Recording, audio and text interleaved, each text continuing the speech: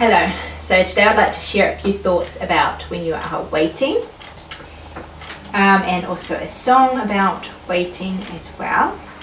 I started making a video already on Saturday when I was at home by myself with Lydia but then Johan ended up coming home early and so I didn't get it finished off so I'm finishing off today but there is a little bit from Saturday.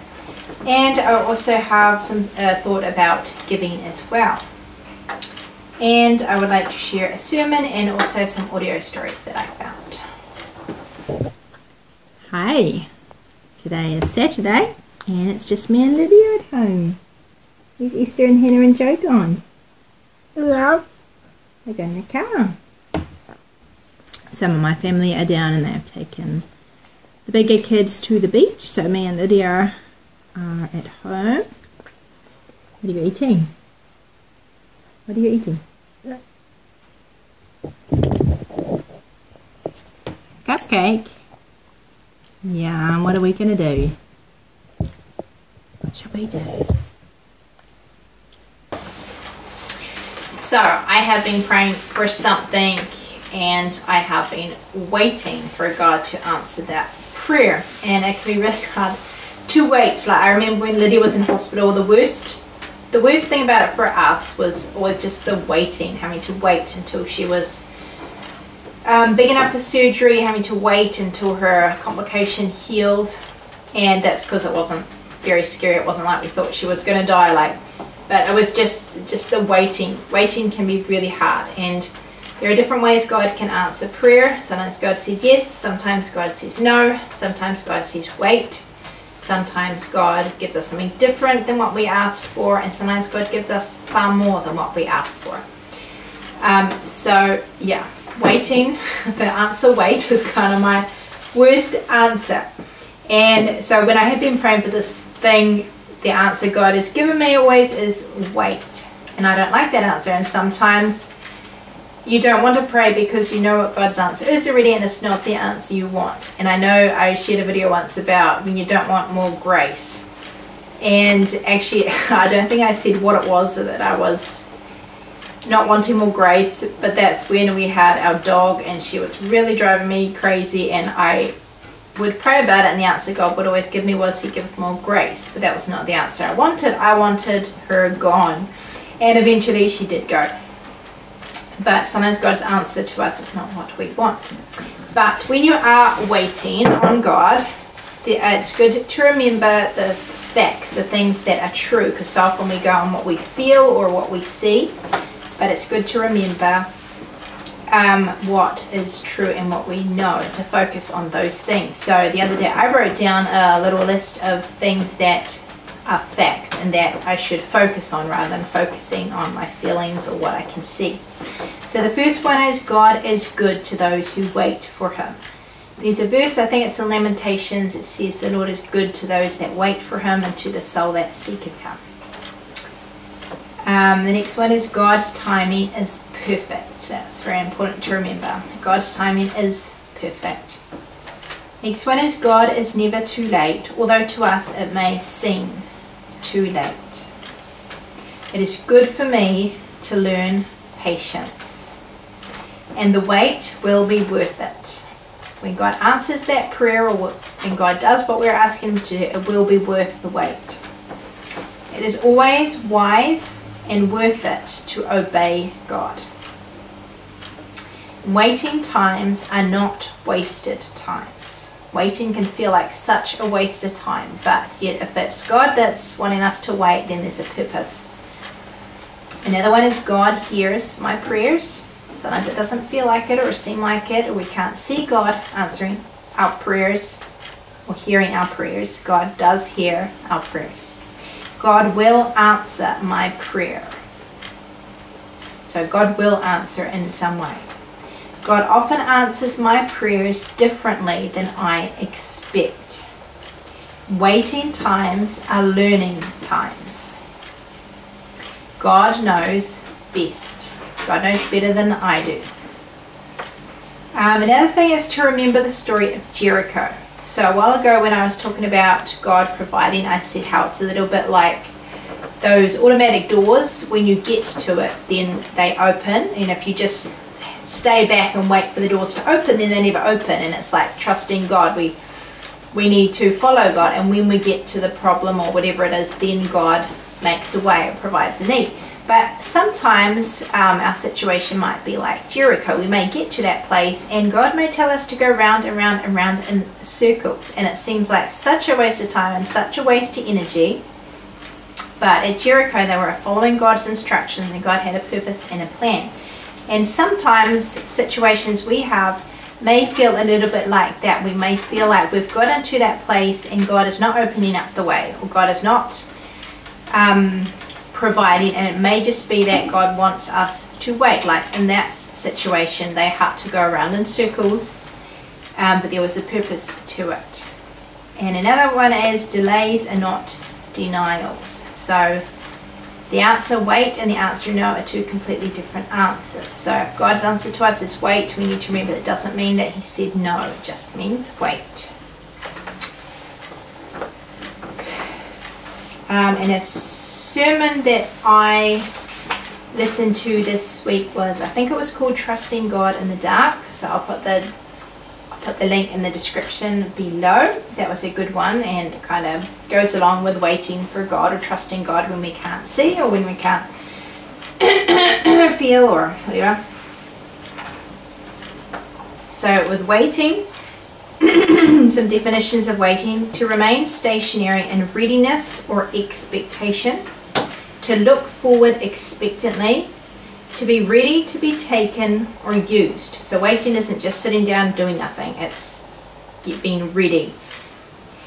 Um, some other words is to anticipate, to hope for, to long for, to be ready, to await, to hold on, to be patient, to expect.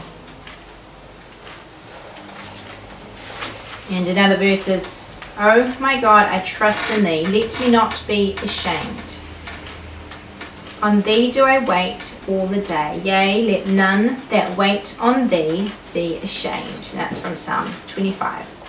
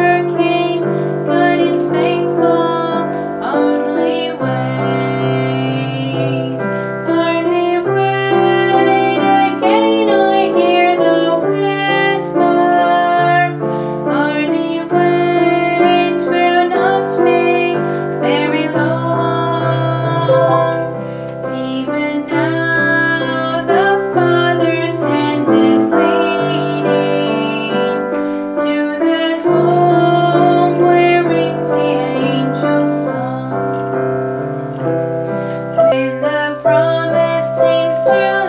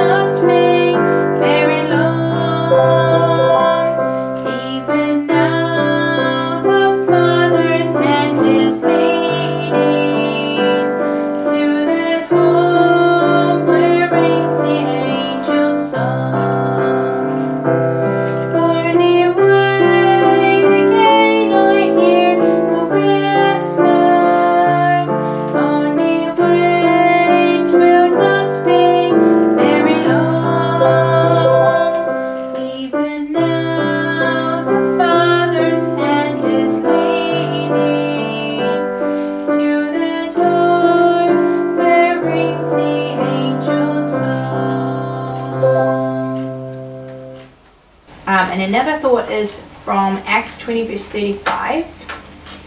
Um, the verse says, I have showed you all things, how that so labouring you ought to support the weak, and to remember the words of the Lord Jesus, how he said it is more blessed to give than to receive. So on Friday last week in my Bible class, we did the story of Dorcas or Tabitha. I always thought of that lady called Dorcas, and then one day I taught that story to some kids who had never heard the story before and had never heard the name before and every time I said the word Dorcas they all started laughing and said oh she's a dog. So try not to use that name anymore. Anyway so we did the story of Tabitha and we learned that verse and so it's kind of our memory verse for the week about it's more blessed to give than to receive. So because I've been teaching that verse I've been thinking a lot about my, I've been thinking a lot about it myself. And I was thinking, you know, it doesn't say it is more easy to give than to receive. It is hard to give. We can have to sacrifice. So it's not always easy to give.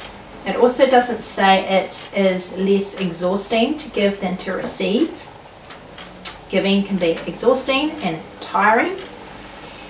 Um, it doesn't say it's less costly to give than to receive it says it is more blessed, and more blessed means more rewarding or more satisfying, or it makes us more happy to give than to receive. And that is really true. I find that when I take a break from giving, I know it's important sometimes to have a rest and to have a break from things, but I often find that that's when I feel the most down. I am the happiest when I am giving to others. So that's an important thing to remember, especially if we are we feel like we are giving all the time, it is more blessed, more rewarding, more satisfying to give than to receive. Um, if you're a mother, then you are giving all the time to your children, to your husband, um, and yeah, whatever you do, it can have a lot of giving, but it is more blessed to give than to receive, even though it may be far more tiring and more costly and harder. Um, something I found this week, so recently I was reading through a Grandma's Attic story with my children. We're reading through the different stories. If you don't know Grandma's Attic, they are quite fun stories. They are kind of old-fashioned stories. And they're Christian stories as well. They have good morals to them. Or good lessons to learn from them. Um, so we got so we got to the end of the book and I didn't have any more of them so I looked to see if there were any audio ones on YouTube. And I found that I think nearly all the Grandma's Attic books they're um, on YouTube. They're all as audio stories, and they're like chapter by chapter. So it's not like a whole book, and you've got to you know listen to a little bit and then try to find where you're up to again.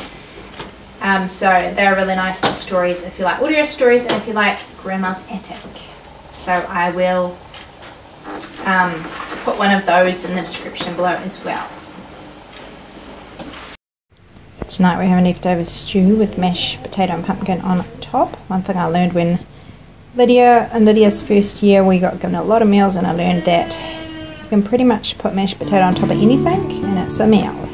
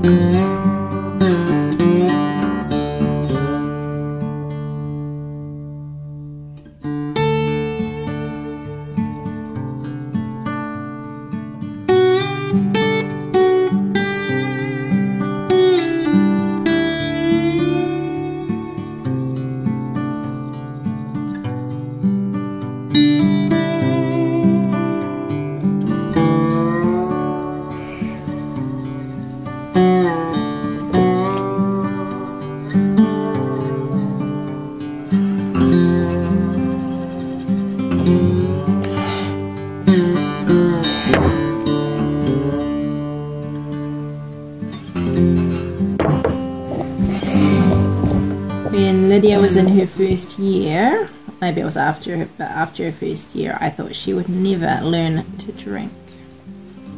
She had a tube in her nose and she was not interested in drinking at all. And I thought she was going to have to get a tube in her stomach, but she did learn. Sometimes it's very hard to be patient. We feel like whatever it is will never pass, but most of the time those waiting times do come to pass. Mum? Thankfully. Hey, lad. What? Um, um, um, Play-Doh. yeah, Do you want to do Play-Doh? okay. Okay. What colour do you want? Um, uh, Purple. Okay, let's get the Play-Doh.